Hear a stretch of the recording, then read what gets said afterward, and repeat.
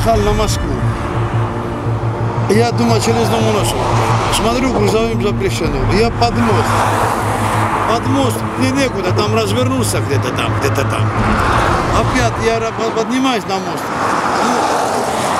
Ну, не тот, не тот поворот пошел. Я надо было мне туда идти, а сюда пошел. Ну, еду километров 35, ну, 30, 35, ну, не больше. На аварийках сам на себе злюсь. Дурак, как это промазал. Думаю, мазила и на себе, и ругаюсь. Ну, ну, скорость, ну, ну, гусиный шаг, ну, и большой скорость. И, короче, вот смотрю такой, я не ожидал даже, я первый ряд еду, смотрю, отпрыгнул, короче, ну, метров два, наверное, я проехал. А с зеркала смотрю, ёпперес, это прилип, блин.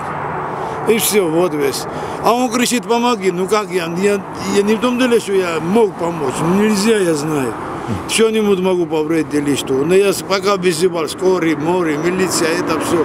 Сто раз иди до них дозвониться. Они, я не знаю, где я нахожусь. Я 118 называю вот номер. Я говорю, вот оттуда, скажу, с Ломоносова на Кронштадт ехал. Так, приехали, забрали. А он один был в машине? Один был. Я не знаю ничего. Я вот гаишники там обычно стоят. Я не знаю ничего. И я, я сам переживаю из-за него. Я говорю, можно карбон выпить? А он говорит, нельзя. Ну нельзя, значит нельзя. Мне самому, если честно, плохо так что за человека переживаю.